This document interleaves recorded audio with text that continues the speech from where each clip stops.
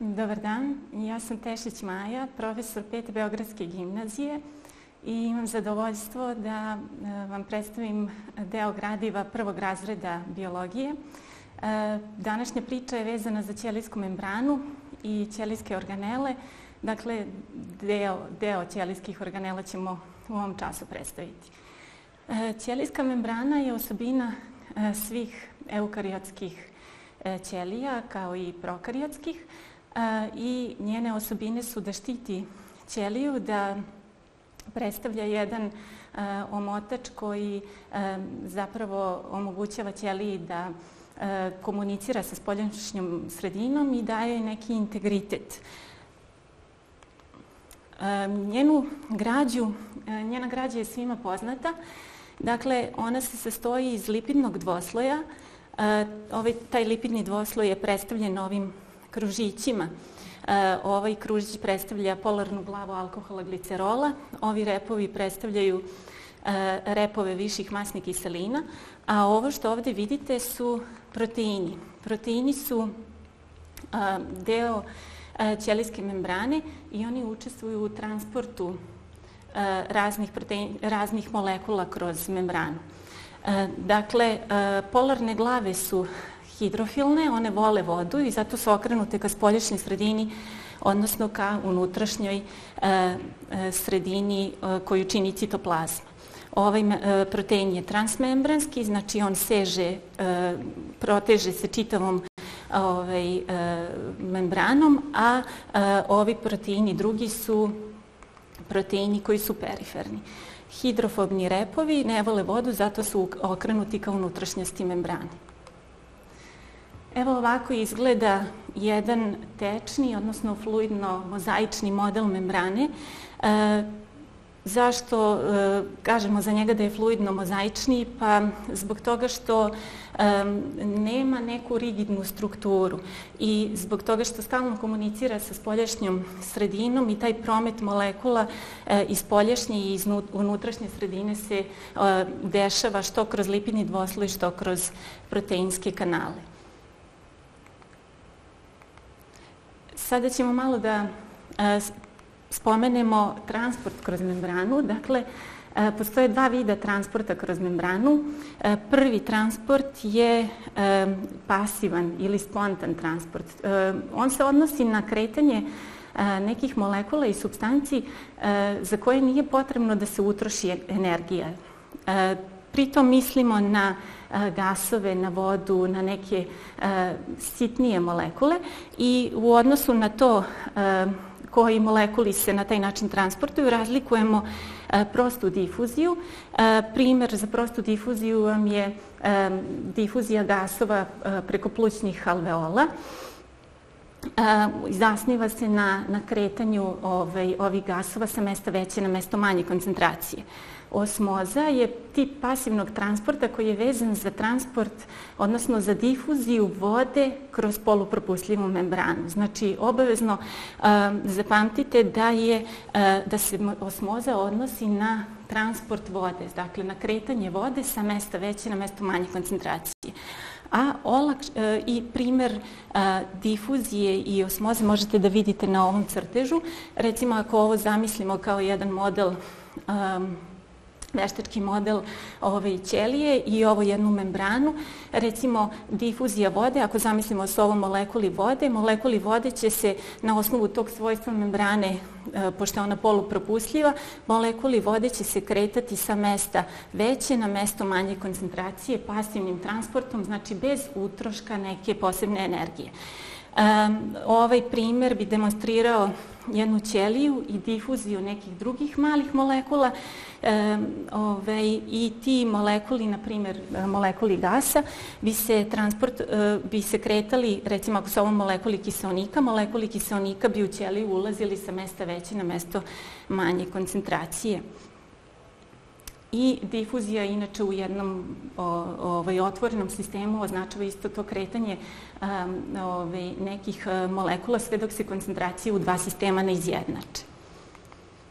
E, ovde možete da vidite membranu i proteinski kanal, proteinske kanale u membrani.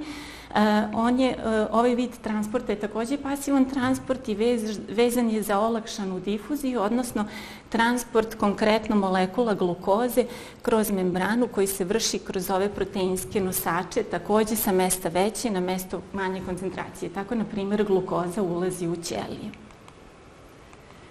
Sa druge strane, postoji još jedan vid transporta, taj tip transporta se zove aktivan transport i on označava kretanje molekula ili iona e, sa mesta manje na mesto veće koncentracije. Da bi to postigla ćelija, ona mora da utroši energiju za tu vrstu transporta i e, dobar primer za to vam je pumpa za natrijum i kalijum.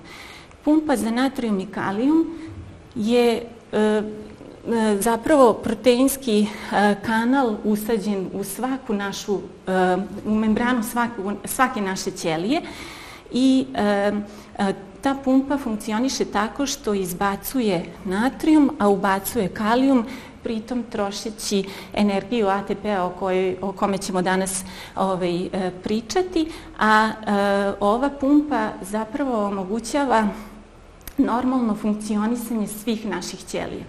Da bi mi mogli da a, funkcionišemo, neophodan je normalan, normalan rad našeg ovaj, svih naših ćelija.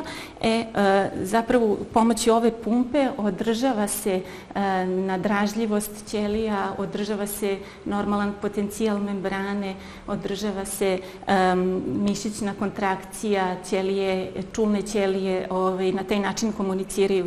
Dakle, ova pumpa za natrijum i kalijum obezbeđuje normalnu funkcionalnost svih ćelija. Kada bi, se kada bi na neki način pumpa zakazala, i ako bi se e, e, koncentracija jona sa dve strane membrane uravnotežila, mi bi bili fiziološki mrtvi, odnosno ćelija bi bila fiziološki mrtva.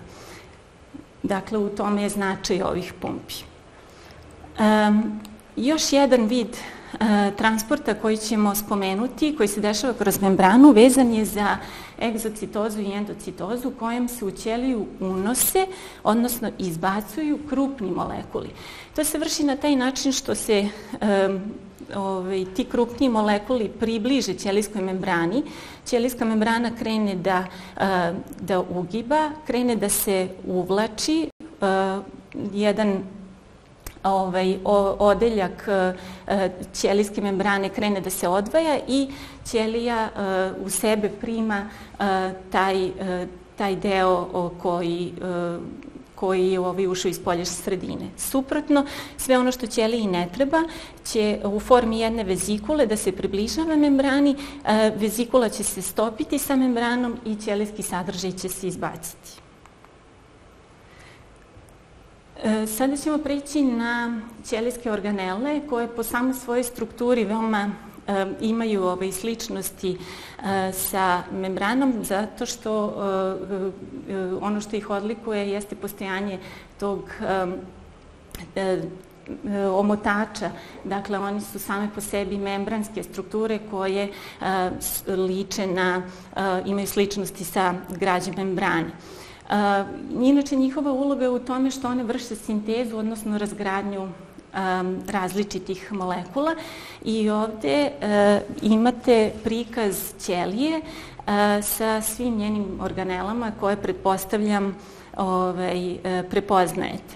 Dakle, ovo je jedro o kome ćemo govoriti, endoplazmatični retikulum, e, ovaj koji ima granule, zove se granularan, te granule su ribozomi, onda glatka endoplazmatična mreža, Golgijev aparat, e, peroksizomi, mitohondrije, centriole i elementi citoskeleta.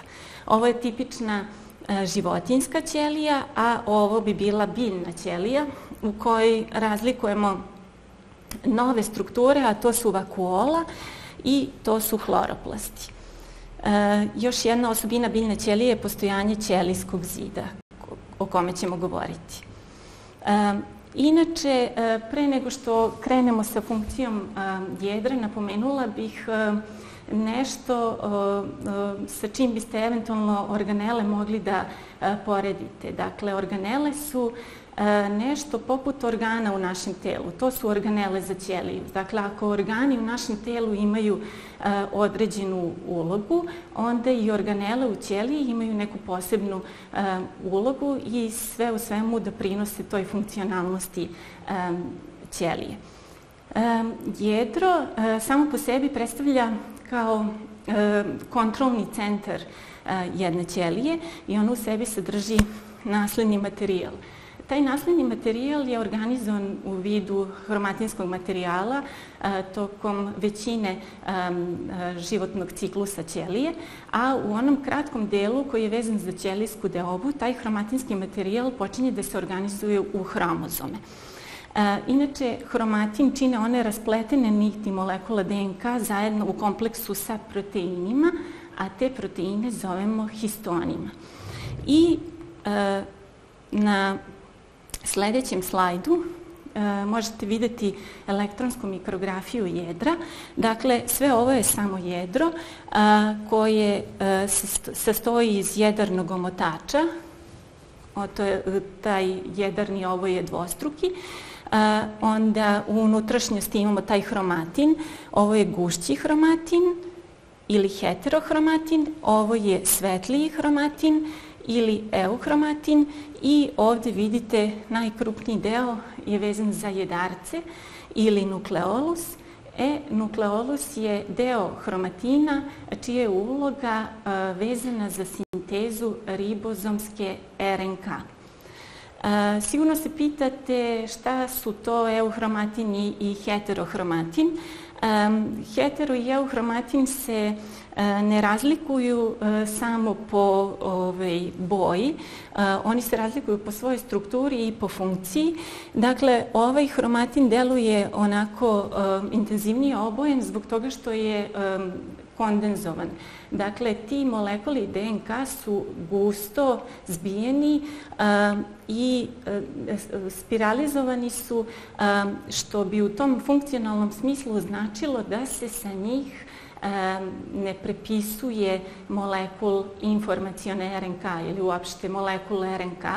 Dakle, e, prevedeno to bi značilo da e, taj hromatin ne učestvuje, ne daje, ne pruža trenutno informaciju za sintezu proteina. Ovaj svetliji hromatin je e, hromatin uključen u proces sinteze proteina o kojoj ćemo danas govoriti. E ovako, dakle, izgleda molekul DNK i e, ovaj e, e, crtež predstavlja kako se kako dolazi do formiranja hromozoma. Dakle, molekul DNK, odnosno te hromatinske niti, uvijaju se od e, oko histona, malih e, proteina, grade nukleozomske pakete i u toj jednoj gustoj e, spiralizaciji koja se ostvaruje na osnovu e, tih elektrostatičkih privlačenja između određenih funkcionalnih grupa e, molekula DNK i proteina dolazi do nadgradnje hromozoma. Dakle, e, hromozomi e, su ništa drugo do gusto spiralno uvijeni molekuli, gusto spiralno uvijen molekul DNK oko loptastih histona i DNK će se organizovati u formu hromozoma samo tokom ćelijske deobe. E, dakle, jedan e, bitan proces koji se u jedru odvija jeste proces e, sinteze molekula RNK. Taj proces zovemo proces transkripcije i ta transkripcija podrazumeva sledeće. Dakle, ako je ovo molekul DNK, nju čini dvostruka spiralna zavojnica, i molekul DNK je molekul koji nosi koji se stoji iz gena. Geni nosi informaciju za sintezu proteina i to je čitava suština um, ovaj, molekularne biologije. Dakle, uh, e, DNK nosi informaciju za sintezu proteina. Zašto uh, uopšte pričamo o tim proteinima? Um, Dakle, proteini su nešto što u najvećem procentu izgrađuje naše telo. Ako pričamo o našoj kosi, ako pričamo o boji naših očiju, ako pričamo o strukturi našeg tela, tipa mišića, e, o kostima, e, u sve ovo nabrojano, u sve ovo nabrojano izgrađuju proteini. Onda s druge funkcionalne strane našeg tela, kada pričamo ovaj, o hormonima, kada pričamo o antitelima, kada pričamo o um, um, enzimima, uh, oni su opet s druge strane proteini. Dakle, sve informacije koje su potrebne telu, sve, sve ono što, što izgrađuje naše telo, sve te informacije su zapisane na molekulu DNK i uh, dakle, ako je molekul DNK izgrađen iz gena, ti geni uh, će se, ti geni dakle nose tu informaciju za sintezu proteina. Kako će se protein sintetisati? Pa tako što će doći enzim, ovo plavo je enzim, taj enzim će pomoći da se ta informacija sa DNK prepiše u jedan novi molekul, a to je molekul RNK. E, zašto e, je potrebno, zašto je ćelija smislila ovaj način da e, stvara molekul RNK?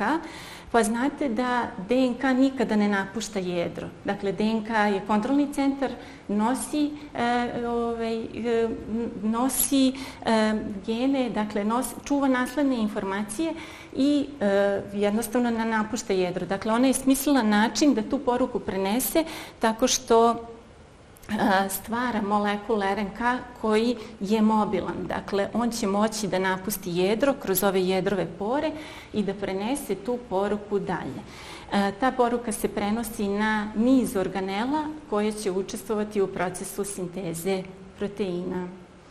E ovde dakle vidite još jedan prikaz e, jedra, e, jedarceta, jedrovih pora i ovde se vidi kako je ta jedrova, jedrovo motač e, izgrađen iz dvostruke membrane i ovde su jedrove pore.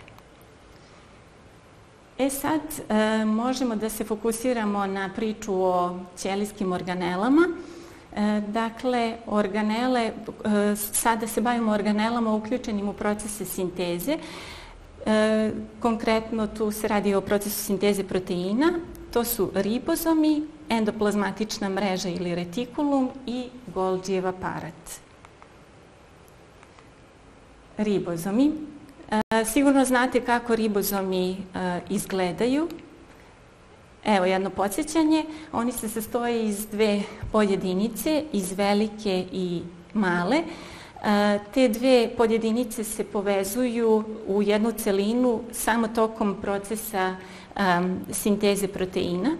E, dakle, e, ribozomi e, zapravo predstavljaju, us, uslovno se zovu ćelijskim organelama zato što su izgrađeni od ribozomske RNK i od proteina.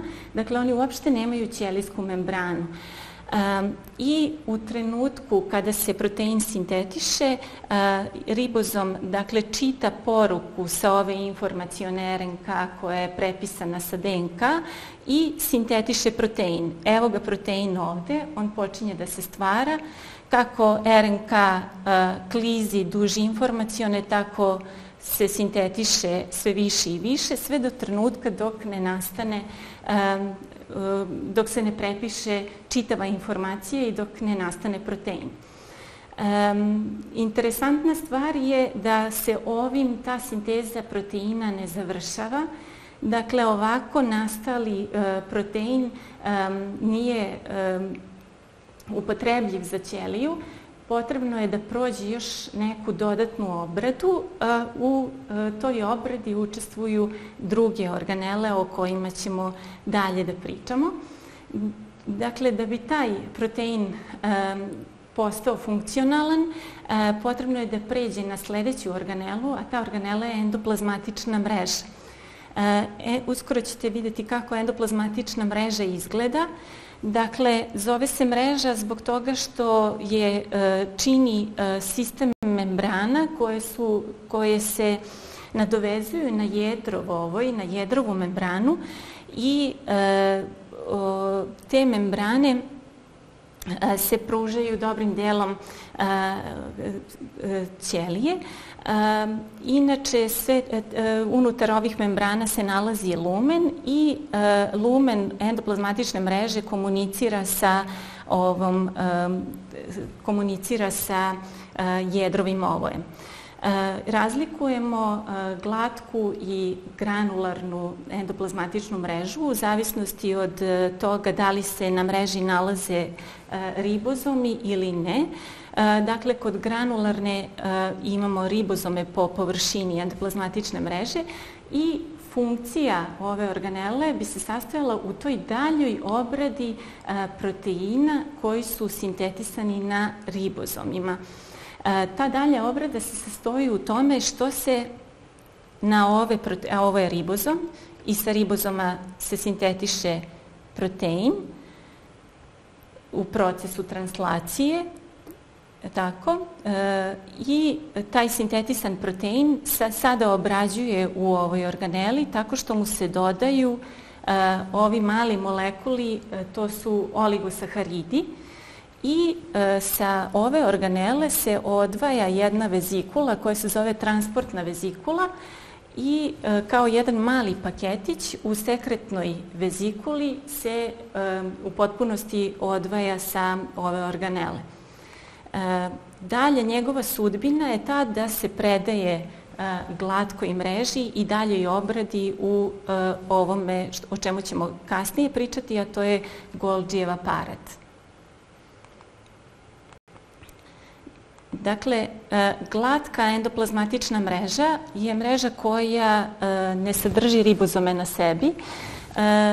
Te membrane, spljoštene membrane endoplazmatične mreže komuniciraju međusobno, vidimo po ovim um, um, tako, spojevima i e, funkcija ove glatke endoplazmatične mreže bi se sastojala u tome što se tu vrši početna sinteza lipida, a takođe i obrada onih proteina koje, e, koji su sintetisani na granularnoj endoplazmatičnoj mreži. E, takođe, ova mreža vrši e, detoksikaciju e, nekih molekula, odnosno detoksikaciju ćelije, to jest modifikaciju nekih toksičnih molekula koji dospiju u ćeliju.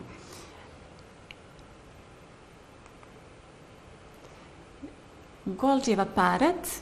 Golgijev aparat je sledeća struktura koja se sastoji iz takođe spljoštenih a, membrana koje su, imaju svoje proširenja na krajevima. Ova organela je takođe u tesnoj saradnji sa endoplazmatičnom mrežom, tako što preuzima te sekretne vezikule iz e, endoplazmatične mreže i dalje ih obrađuje. Dakle, te e, sekretne vezikule e, ona preuzima i u njoj se vrši dalja obrada i e, određivanje sudbine tih proteina i lipida. Šta to znači? E, ti proteini, ako je ovo jedro, dakle ovo je endoplazmatična mreža, ovo su ribozomi, na njima se sintetišu e, proteini. E, u vidu ovih transportnih i sekretornih vezikula ovde se taj sadržaj predaje Golgijevom aparatu i onog trenutka kad Golgijev aparat to obradi, onda on određuje sudbinu tih sekretnih vezikula ili će ih izbaciti, može da se desi da ih izbaci napolje, može da se desi da taj sadržaj, ono što je sintetisano, ti proteini i lipidi budu ugrađeni u e, ćelijsku membranu ili mogu da uh, budu deo um, lizozomskog sistema, dakle te male vezikule uh, postaju uh, budući lizozomi. E ovde vidite još jednom taj pregled, tu povezanost ovih organela o kojima sam pričala. Dakle, ovo je jedro, a, sa jedra nastaje molekul RNK, taj molekul RNK a, dolazi do ribozoma, na ribozomima se vrši sinteza proteina, Ti proteini se u uh, granularnoj endoplazmatičnoj mreži modifikuju, dodaju im se oni oligosaharidni molekuli kao takvi izlaze sa granularne mreže u formi malih vezikula.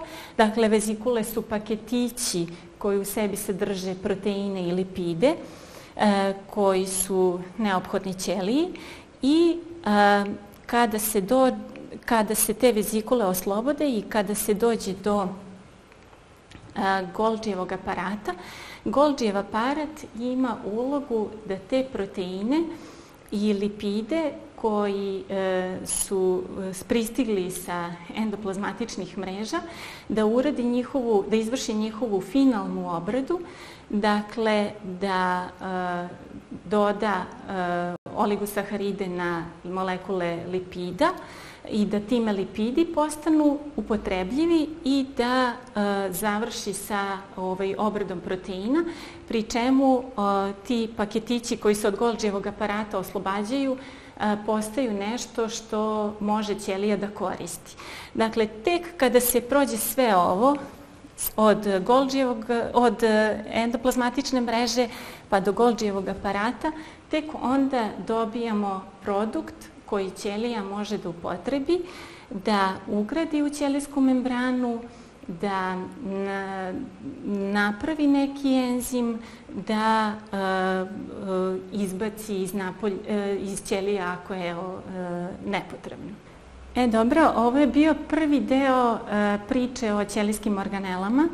E, volela bih da na osnovu ovog predstavljenog e, napravite sebi neke teze vezano za e, ono osnovno, dakle za građu i za funkciju ćelijske membrane i ćelijskih organela. Napravite neke nacrte u vašim sveskama i razmislite o tome recimo koje e, ćelije sisara, u kojim ćelijama sisara e, bi dominirale neke od ovih organela u kojim, o kojima sam pričala. Konkretno mislim na glatku endoplazmatičnu mrežu i na Golgijev aparat. E, pozdravljam vas sve i o ostatku organela ću pričati na sledećem času. Hvala na pažnji.